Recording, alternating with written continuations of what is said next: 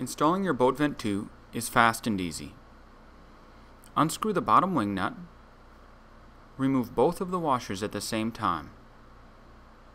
Put the upper washer back on the umbrella and set that portion of the vent aside.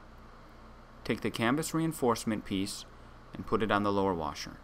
We recommend using a canvas reinforcement piece to minimize wear on your boat cover over time.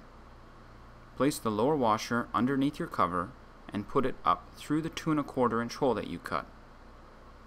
Take the upper portion of the vent and push it down through the lower washer. Then screw your wing nut back on and make sure that it is on tight so that it cannot get knocked loose over time.